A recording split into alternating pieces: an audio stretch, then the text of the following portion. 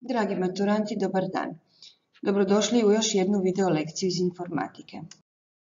Ja sam profesorica Vesna Tomić, a danas nastavljamo izradu programa za stvaranje i uređivanje tekstnog dokumenta. Kao i obično, provjerite jeste li pripremili bilježnicu i olovku, te računalo s instaliranim Pythonovim programskim okružjem. Također, slijedite poveznicu sa slajda i preuzmite dijeljenu mapu – u njoj se nalaze kodovi svih primjera i zadataka iz današnje video lekcije. U prošloj video lekciji u sučelje smo dodali element tekst koji koristimo za pisanje i uređivanje teksta. Danas ćemo ga još malo doraditi kako bi bio što sličniji programima za stvaranje i uređivanje tekstnih dokumenata na koje smo navikli. Sada smo dodali izbornik datoteka s naredbama novo, otvori, spremi, spremi kao i izlaz, te definirali pripadajuće funkcije.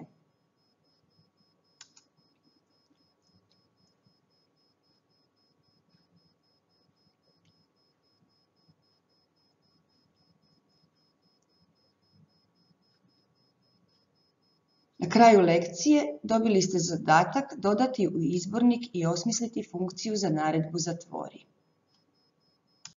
Već smo spomenuli da za umetanje i uređivanje teksta koji se proteže u više redova koristimo element tekst. Jedini obavezan parametar elementa tekst je roditelj, odnosno element u koji ćemo smjestiti tekst. Uz već uobičajene parametre za boju pozadine i fonta, za promjenu vrste i veličine fonta, parametar tekst ima i neke specifične parametre. To su parametri spacing 1 i 2 kojima određujemo razmak između odlomaka i prored, parametar vrep koji određuje način prelamanja teksta na kraju reda, te parametri x scroll command i y scroll command koje koristimo za uređivanje klizača. Sada otvorite program koji ste napravili u prethodnoj video lekciji. Niste li njime zadovoljni, preuzmite program s poveznice ili ga pronađite u dijeljenoj mapi koju ste preuzeli ranije. Naziv programa je Editor Py. Za zagrijavanje poigrajte se parametrom vrep. Vrijednost parametra postavite na Word i provjerite na koji način tekst na kraju redka prelazi u novi red. Također isprobajte i ostale vrijednosti. Još e, neki dodatni parametri, parametri fill i expand. To su parametri koji se koriste u metodama za postavljanje elemenata u sučelje. U našem slučaju to će biti metoda PEC. Parametrom expand definiramo hoće li element popuniti cijeli prostor, a parametar fill opisuje na koji način će se taj prostor popuniti. Vrijednost parametra expand može biti true, prostor će se popuniti, ili false, prostor se neće popuniti, dok su vrijednosti parametra fill none, x, y ili both. U našem programu imamo dvije PEC metode. Jednom smo dodali eh, okvir, frame, u sučelje, a drugom smo dodali u sučelje element tekst. Obje te metode doradite tako da im dodajte parametre fill i expand s vrijednostima koje vidite na slajdu. Sigurna sam da niste imali problema kod rješavanja ovog zadatka, ali evo pred vama je i primjer rješenja kojim smo od elementa tekst koji e, nije obuhvatio cijelo sučelje došli do ovakvog izgleda našeg prozora. Metode koje smo do sada koristili vidite na slajdu. To su metode za rad sa znakovnim datotekama, open, read, write i close. Metoda delete za brisanje teksta koje smo koristili prilikom definiranja funkcije novo i otvori.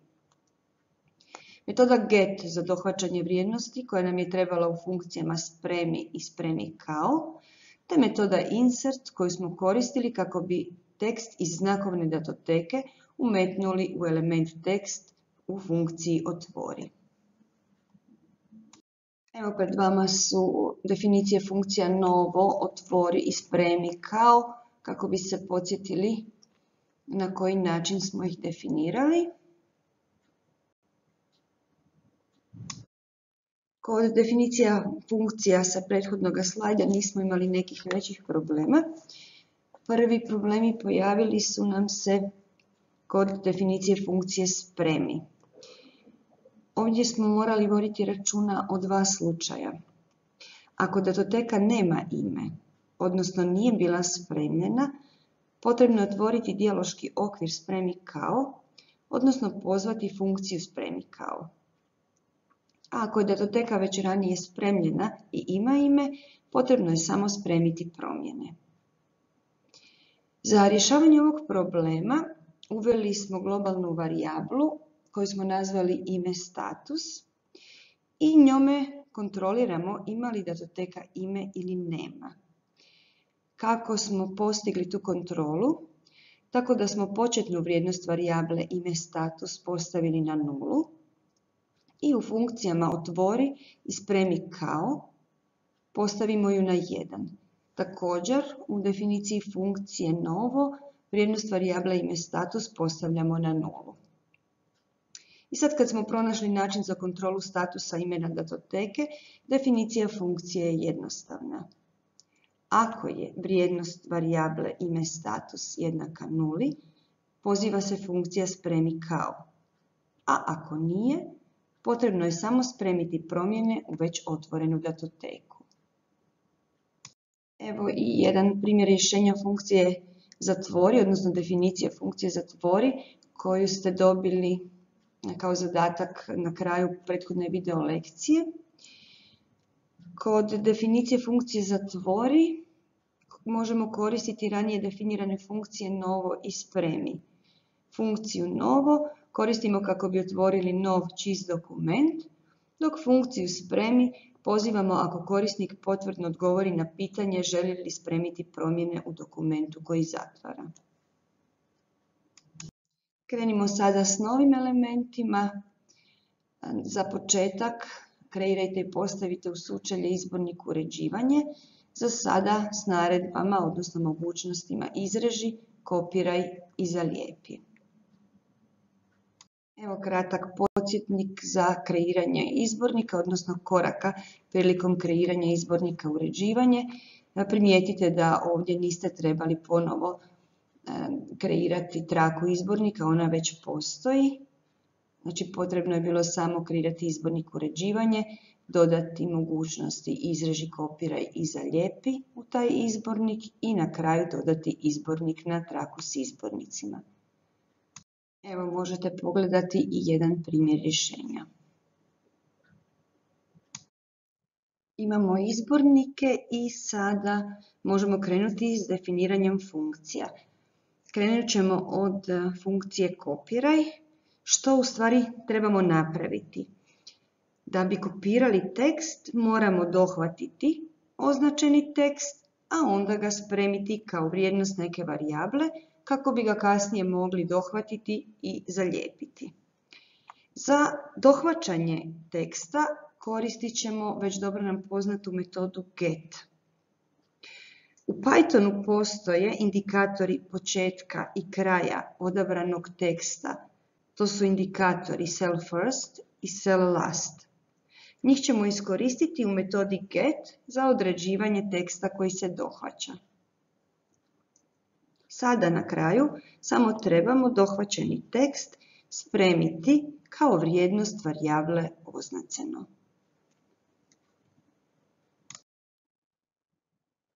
Definirajmo sada funkciju kopiraj, s tim da ne smijemo zaboraviti dodati parametar command kojim pozivamo funkciju kada korisnik klikne na naredbu kopiraj u izborniku.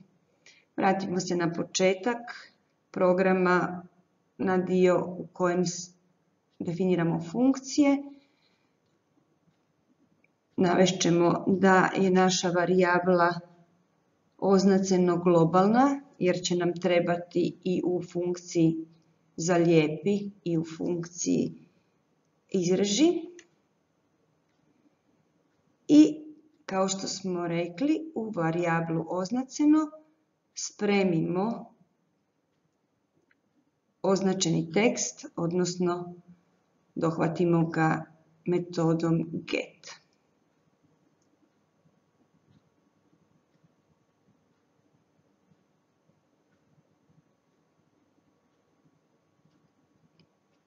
I time smo završili s našom funkcijom. Moramo još samo na početak programa dodati globalnu varijablu oznaceno. Za početak ćemo njezinu vrijednost postaviti na false, nema označenog teksta. Sada možemo provjeriti rezultat s tim da nećemo vidjeti je li tekst kopiran dok ne napravimo barem funkciju za lijepi.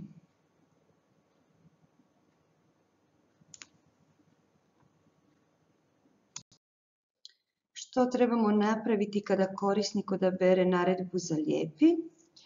Potrebno je u stvari kopirani tekst koji smo spremili u varijablu označeno umetnuti na točku umetanja. Za poziciju točke umetanja koristit ćemo indikator insert, a za umetanje teksta metodu insert.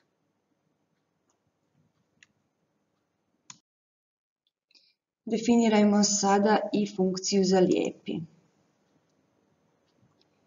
Vratimo se na dio programa kojem definiramo funkcije i krenimo s definicijom kako smo ju malo prije opisali.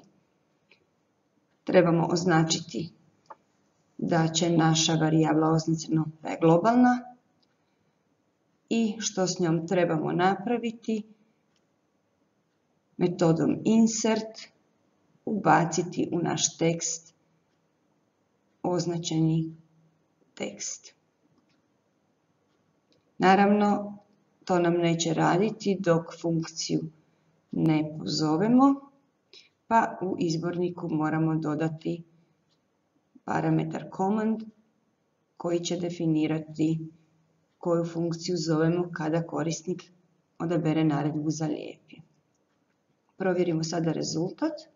Sada ćemo u stvari provjeriti i radi li nam funkcija kopiraj i funkciju za lijepi. Evo, upišem neki tekst.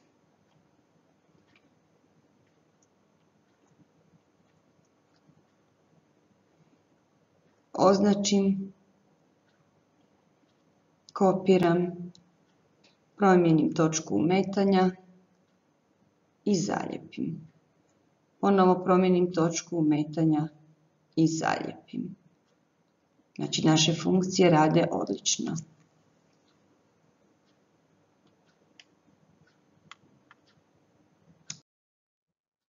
Definirajmo sada i funkciju izreži, što trebamo napraviti kada korisnik pozove naredbu izreži. Nakon kopiranja potrebno je obrisati odabrani tekst. To ćemo postići već dobro nam poznatom metodom delete. Sada zaustavite ovu video projekciju i napravite definiciju funkcije izrazi. Kada smo provjeravali kako rade funkcije kopiraj i zalijepi, onda sam rekla da one rade savršeno. Međutim, to baš i nije istina, jer se može dogoditi da korisnik odabere naredbu kopiraj, a da prethodno nije označio tekst. Što će se dogoditi u tom slučaju? Program prevoditelj prijavit će grešku i prekinuti program. Prodiskutirat ćemo dva načina rješenja ovog problema. Prvi je korištenjem if-else naredbe, dok ćemo u drugom koristiti iznimke. Sjetite se, na početku programa u dijelu u kojem smo naveli da ćemo koristiti globalnu varijablu oznaceno, njezinu smo početnu vrijednost postavili na false. Upravo to ćemo sada i iskoristiti. Ako je vrijednost varijabla i dalje false, znači da ne postoji označeni tekst. I u tom ćemo slučaju korisniku ispisati poruku da nema označenog teksta, dok ćemo u suprotnom kopirati ili izrezati odabrani tekst. Evo i rješenja.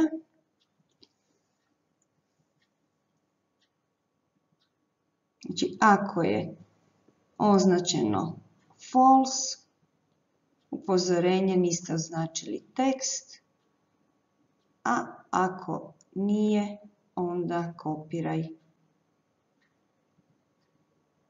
Pogledajmo sada.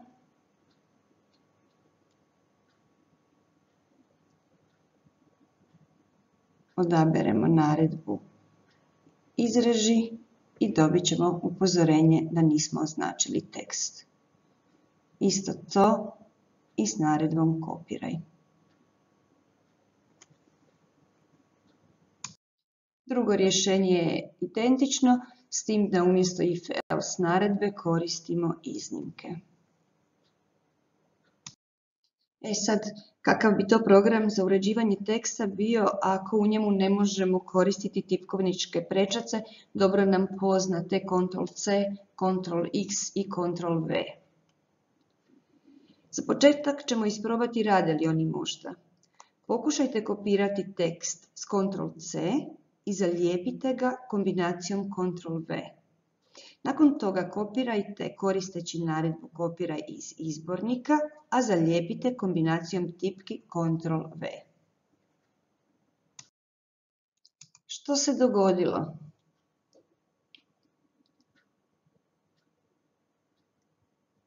Kada smo kopirali naredbom kopiraj, zalijepili naredbom zalijepi, sve je u redu. Ako sada kopiramo s Ctrl-C, zalijepimo s Ctrl-V, opet je sve u redu. Sada kada kopiramo naredbom kopiraj i zalijepimo kombinacijom tipki Ctrl-V, dobili smo u stvari zaljepljen onaj tekst koji je bio kopiran kombinacijom tipki Ctrl-C. To se dogodilo zbog činjenice da Python ima ugrađenu mogućnost korištenja sadržaja spremljenog u međuspremnik operacijskog sustava. I upravo to ćemo iskoristiti kako bi popravili naš program. Na raspolaganju su nam tri metode kojima možemo baratati sadržajem međuspremnika operacijskog sustava. To su metoda clear koja briše sadržaj, append koja ga dodaje i get koja dohvaća sadržaj međuspremnika. Pogledajte sada definiciju funkcije za lijepi i pokušajte sami promijeniti funkcije kopiraj i izreži. Sada naredbama u izborniku možete dodati i tipkovničke prečace. U izborniku uređivanje standardno se nalaze i naredbe poništi i ponovi. Kako bi ih koristili u našem programu, ne trebamo definirati posebne funkcije. Evo, pogledajte primjer za naredbu poništi. Sada doradite uz izbornik uređivanje i dodajte i uredite mogućnosti poništi i ponovi. Time smo stigli do kraja današnje lekcije. Sljedeći puta završavamo naš program za kreiranje i uređivanje tekstnih dokumenata i završavamo ovu seriju video lekcija o grafičkom, programima s grafičkim korisničkim sučenjem. U naš ćemo program sljedeći puta dodati još i naredbu font, te klizače i statusnu traku. Na kraju ove lekcije srdačno vas pozdravljam i veselim se našem sljedećem susretu.